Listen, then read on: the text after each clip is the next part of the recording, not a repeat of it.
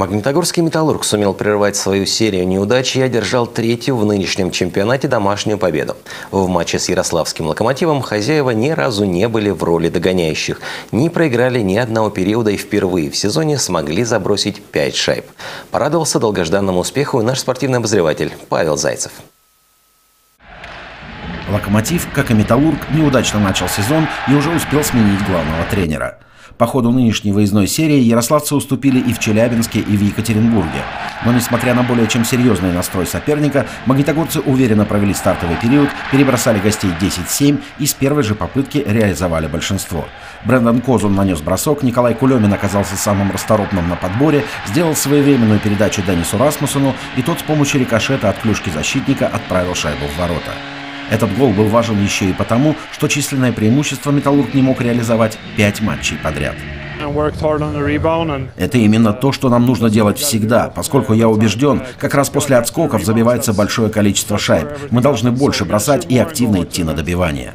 А вот во втором периоде доминировали гости. Они несколько раз надолго запирали магнитогорцев в их зоне, хорошо контролировали шайбу, проводили эффектные позиционные атаки. И ответная шайба выглядела вполне логичным результатом этого давления.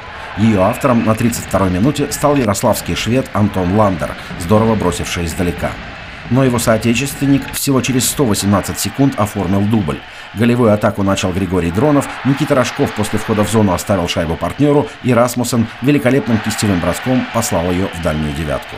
Последние игры 5-6 хорошо начинаем и не всегда хорошо заканчиваем, но хорошее начало всегда важно в каждой игре, чтобы почувствовать войти в игру и чтобы игра когда ведешь счете, легче играть. В заключительном отрезке «Локомотив» также имел преимущество и уже в дебюте снова восстановил равновесие. Свою первую шайбу в КХЛ забросил Николай Аверин. Но вскоре гости во второй раз остались в меньшинстве, и Иван Верещагин отметил возвращение из лазарета очень важным голом. Денис Расмуссен набрал третье очко в матче, а Николай Кулемин вновь хорошо поработал перед чужими воротами.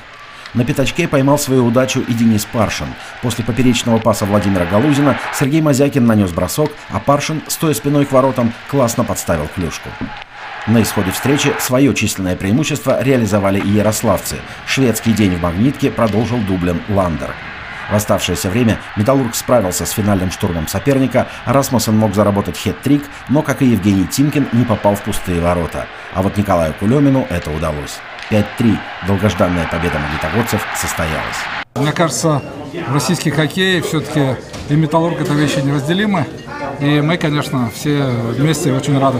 Я думаю, не только болельщики «Магнитки», но и весь наш хоккей э, за то, чтобы «Магнитка» оставалась такой системной командой, которая она, в общем-то, и существует. Двум командам нужны были очень очки такого, и выходить из ямы, поэтому очень э, чтобы не, не сказать, что по накалу, а просто по, по в голове, наверное, очень сложный матч был для, для нас, я думаю, для Локомотива тоже. Поэтому молодцы, что выиграли, молодцы, что э, кусались там, и большинство сработало.